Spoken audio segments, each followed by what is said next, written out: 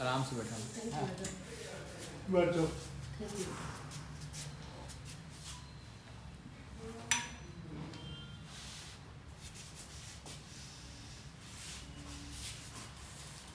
धीरे धीरे। पीछे की जब बैठती है ना आराम से असल में दिक्कत हो जाओ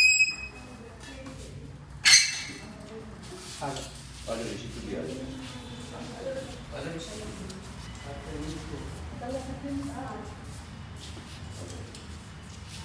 नीचे उतारना है स्लो स्लो आराम से स्लो पकड़ लेंगे आगे से। कोई बात नहीं।